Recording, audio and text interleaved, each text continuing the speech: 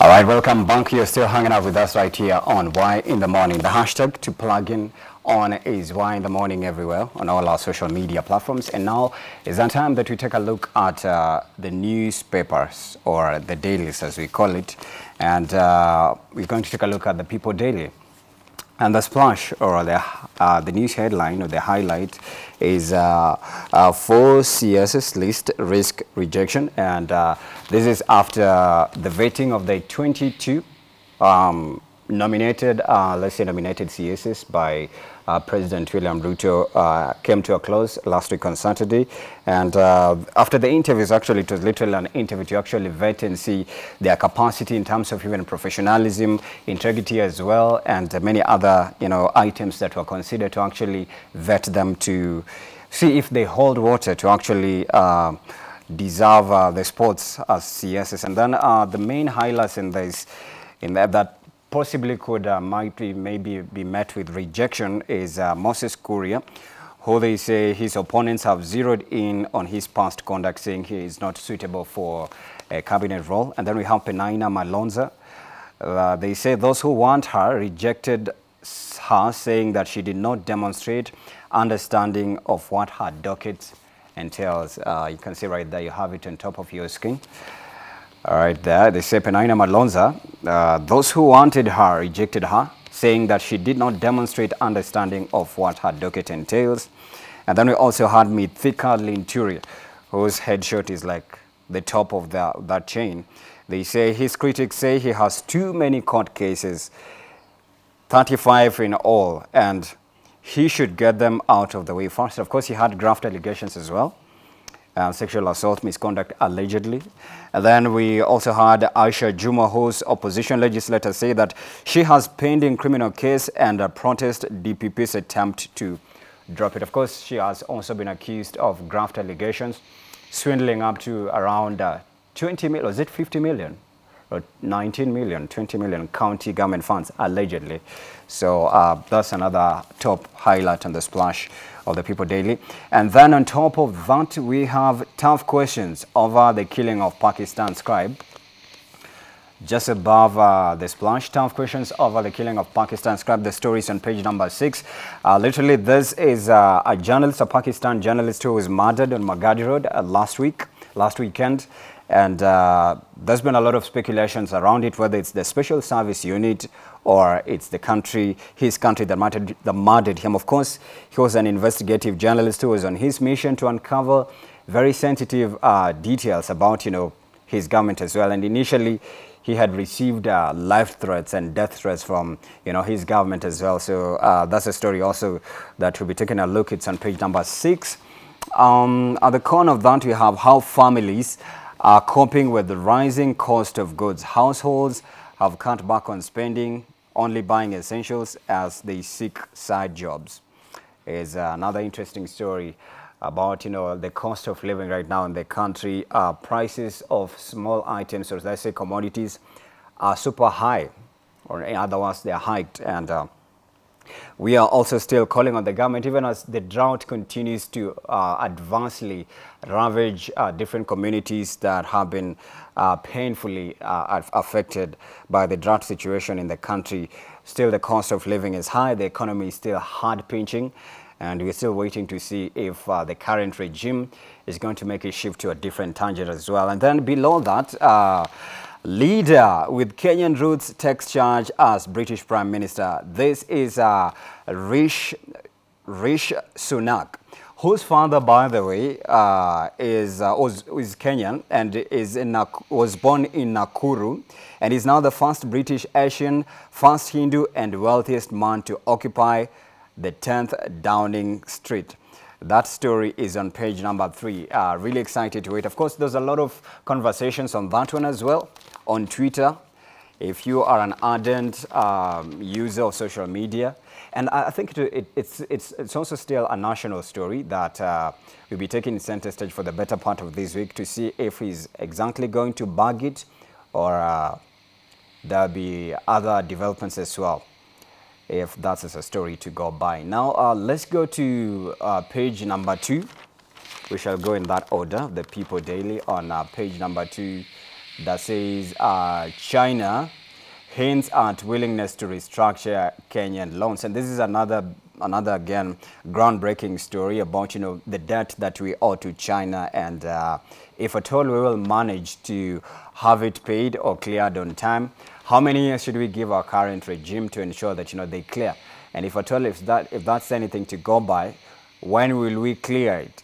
And then the Chinese government has hinted at uh, willingness to discuss a loan loan uh, structure of program with Kenya, even, even as it affirmed the continued uh, cordial working with the new administration for both countries. Chinese ambassador to Kenya, Zhou Pingjian, yesterday said that they work within the terms laid down, assuring that all the government has been doing is to honor requests from all partners that they work with. The ambassador also assured that his country is willing to listen discuss and improve cooperation with Kenya as equal partners and affirming that implementation depends on the specific programs, but China has no reservations. And then just jump below, down below that, they say uh, that is about traditional friendships with China, of course, with Kenya. Kenya and China enjoy profound traditional friendships and both countries are confident in the new leadership under Xi Jinping and William Ruto to boost partnerships. In as much as, you know, we have you know, um, the debt, we are still in partnership with uh, Kenya.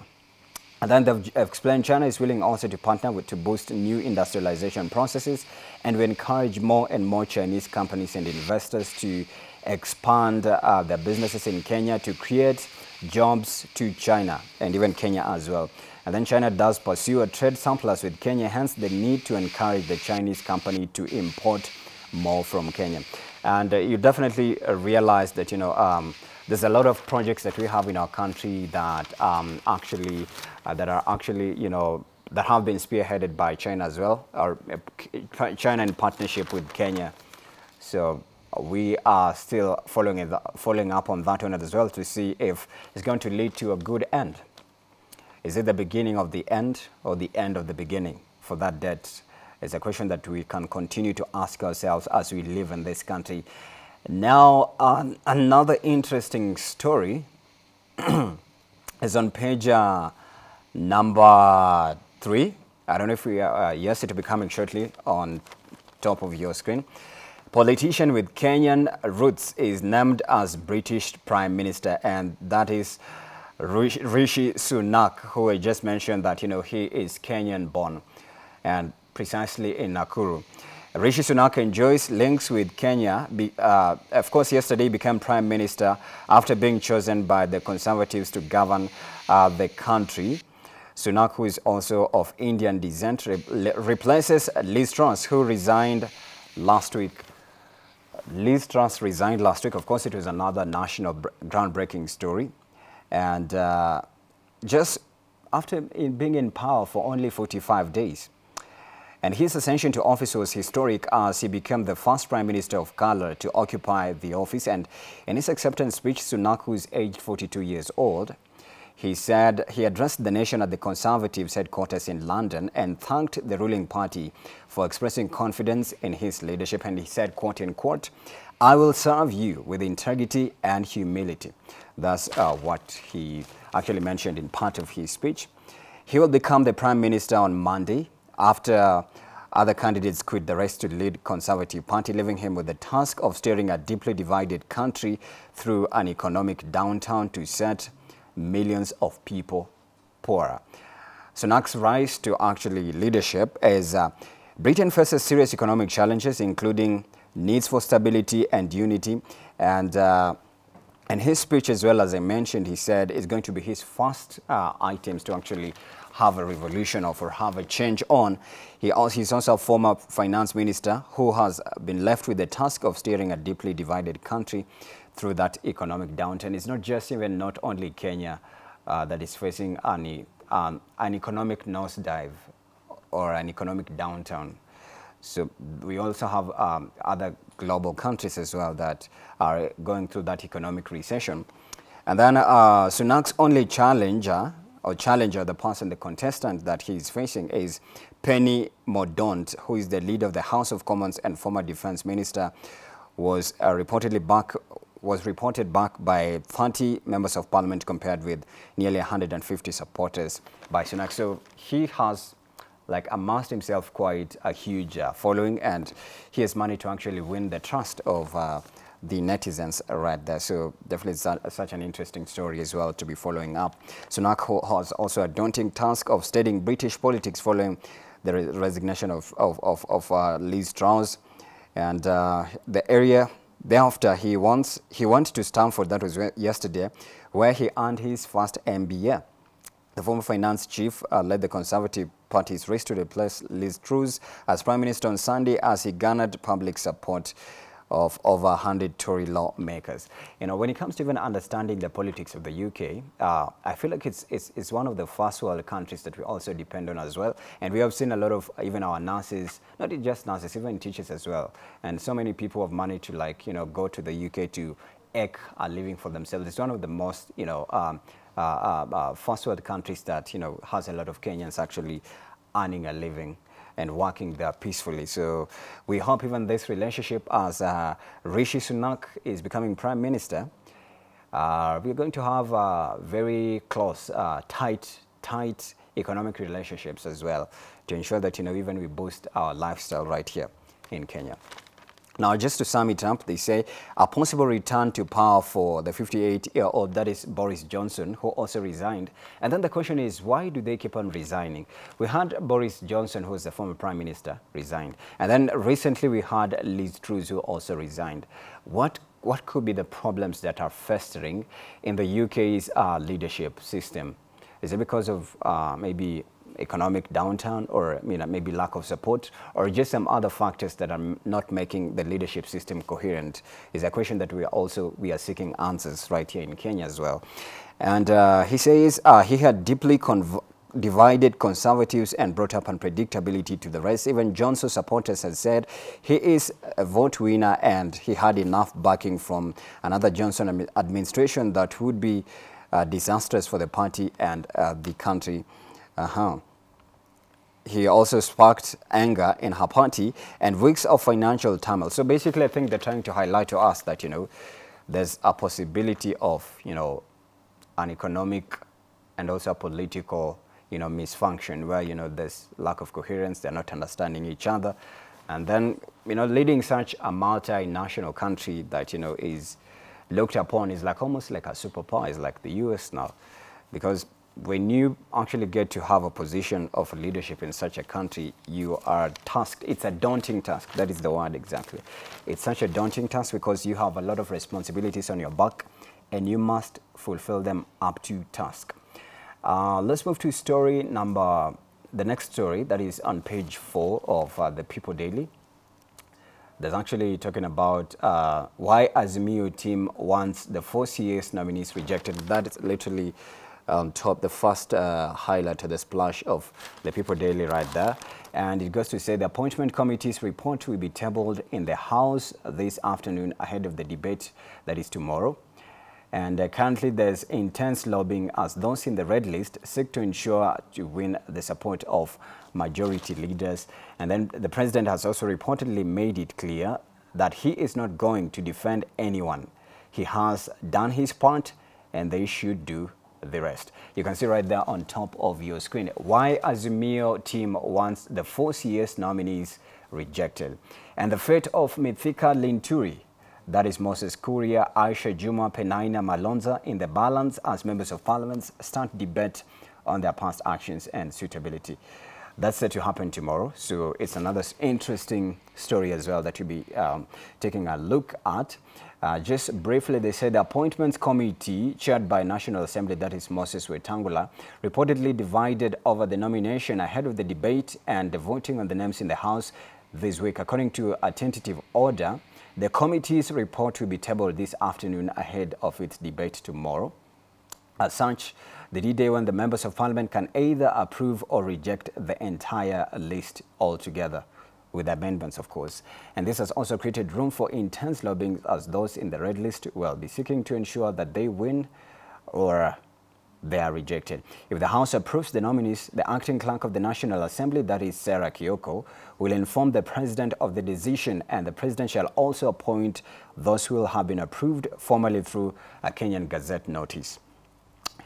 As you can see right there, we have a photo of that where it says National Speaker Moses Wetangula makes a grand entry to Parliament. Tomorrow is the D-Day when members of Parliament will approve or reject the entire list with amendments.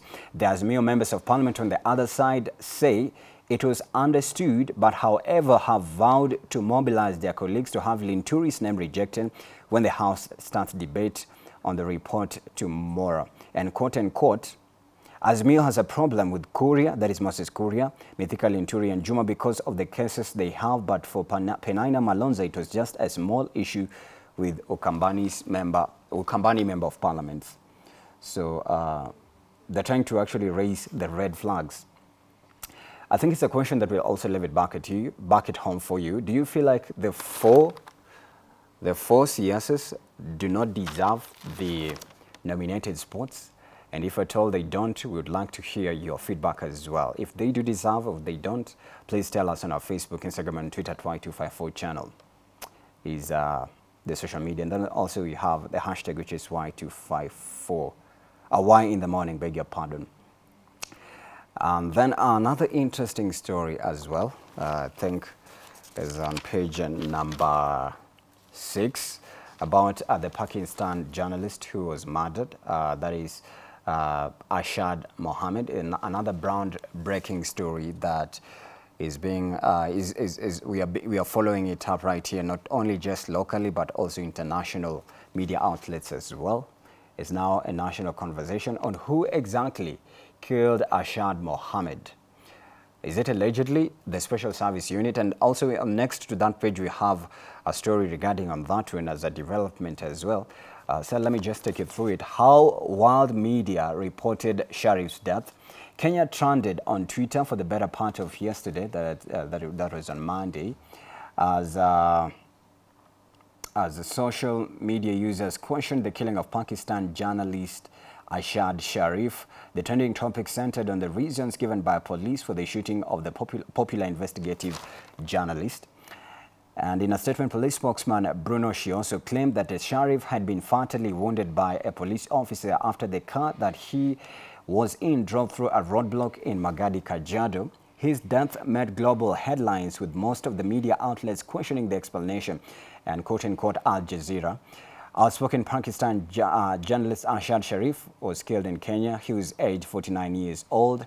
He was also, he had fled in Pakistan in August after multiple cases were filed against him for criticizing the military and was shot dead in Kenya. Now, um, the Washington Post said, uh, Washington Post is also a newspaper, uh, a national newspaper, that says a senior Pakistan journalist living in hiding in Kenya was shot and killed by a police officer after the car he was in sped up instead of halting at a roadblock. The police said on Monday that they, they, expressed regret over the incident, saying it was a case of mistaken identity. The other side, the BBC said an investigation had begun in Kenya after a well-known Pakistan journalist Arshad Sharif was shot dead on Sunday. An initial report said officers shot him while he was in a moving vehicle in a case of mistaken identity. And then that is the Hindu Times because he's also of Indian Pakistan resent, uh, descent, beg your pardon. Arshad Sharif, a top Pakistani journalist hiding in Kenya since he was facing sedition charges, was shot dead on Sunday night. He was reportedly a frequent critic of the Pakistani military establishment and supporters of former Prime Minister Imran Khan, who was ousted in Parliament because of no confidence vote in April. So that's how world media reported that. And uh, down below that, it's a probe launched onto the Pakistan journalist killing. They saying Arshad was a critic of uh, Pakistan, Pakistan's military, as well as a vocal supporter of, uh, of ousted uh, Prime Minister Imran Khan in his country. The 49-year-old had left Pakistan in August after complaining of harassment. And then he had previously been in the UK and Dubai before traveling to Kenya. It is, known, it is not known exactly what he was doing in the East African country. And then journalists in the Pakistan city of Karachi held a street protest over his killing.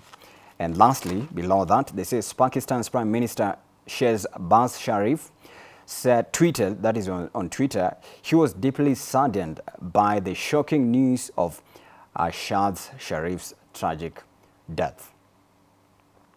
And then also on matters privacy, his, his wife went to Twitter and said that, you know, he wants netizens or social media users to actually give her and uh, her family and his family privacy by not tweeting the last photos of uh, the deceased uh, uh last moments so that he they preserve the dignity of their family and not to tweet about you know the family members. So she asked for privacy. I think it was a tweet that also was trending on twitter. So if you are on social media yesterday definitely you got a glimpse of that. And then we also had even kenyan journalists like uh, who, who, who is this? I've, I've forgotten the name. John Allan Namu, who actually claimed that he was working with him at some point on Twitter, and it, it, it was actually a tirade of, of tweets uh, right there that we were actually you know, being talked about. It was a conversation starter yesterday. Another groundbreaking story that we'll be following up as the day uh, progresses. And then uh, the next story that is on uh, page number seven, it talks about how two Indians and a taxi man met their death. Details have emerged showing how two missing Indians were abducted on Mombasa Road by members of the now disbanded Special Service Unit, never to be seen again. An affidavit filed in the court reveals that the two Indians and their taxi driver were intercepted on Mombasa Road near Ole Sereni Hotel, forced out of the taxi before being bundled into a Subaru vehicles bearing GK number plates by members of the disbanded elite squad before being escorted to the Aberdares National Park. The affidavit as well was filed by Internal Affairs Unit of the National Police Service yesterday, and the investigators also narrate the role played by each of the four police officers implicated in the forceful disappearance of the three persons. According to the investigators, the four officers were not acting alone but were allegedly taking instructions from other persons of interest who remain at large. Investigations have further revealed that the four abducted the two foreigners identified as Zulfikar Ahmad Khan and Mohammed Zaid Sami Kidwai and the taxi driver Nicodemus Mwania before dumping them into the national park of the destination on the night of July 22nd and 23rd. The two Indians were in the country for business and commercial purposes before the, dis the disappearance had hired the taxi operator to drive them around. It is alleged that the two had jetted into the country in July to be part of the President Ruto's William, President Ruto, or is it escaping me? His doctor, to, to top it up, Dr. William Samoei Ruto campaign team. Now, the affidavit also filed by Assistant Superintendent of Police Michael Kirui says Mwania's taxi was forcefully stopped at the Southern Bypass interchange that is at around Ole Sereni by police officers who were arraigned in court yesterday and persons who are still at large. As you can see right there, we have a photo and uh, the caption is for Special Service Unit officers Joseph Kamau Mbugwa, John Mwangi Kamau, Francis Mwendo Ndonye, and Peter Muvega Chiku. Those are the guilty police officers right there at the Kahawa Law Courts when they were arraigned yesterday. So um, that's, that's another groundbreaking story that we are taking a look at. And uh, just to summarize it, they say it's uh, only the Office of the DPP and uh, the DCI and National Police Service that has allowed in law to file cases against police. And then I remember yesterday we also had a question uh, on that one as well on uh, whether, you know, it, it, it, it, the current regime has actually, you know, come in handy when, you know, it's, it's that time to actually, you know, have some of these you know, uh, underground, you know, and at large forces to be done away with because previously we have seen a lot of extrajudicial, you know, uh, killings that still continue to unravel even in relation to this current case. And uh, we'll be keeping tabs on that story as it develops. Now, uh, let's move to the business page. On uh, page 16, Matters Business on the Business Hub that talks about household cutback on savings as inflation bites. Uh, definitely, this is regarding the cost of living in the country. You can see right there, households cut back on savings as inflation bites. That means the, the economy still continues to take a nosedive and the cost of living continues to go high. And just a description of that, they say, the annual inflation rate accelerated for the seventh consecutive month to a 9.2% in September. This is last month, okay? And above market focus of 18.6% and the ceiling of the central bank's target range of 2.5% to 7.5%. A hike and increase.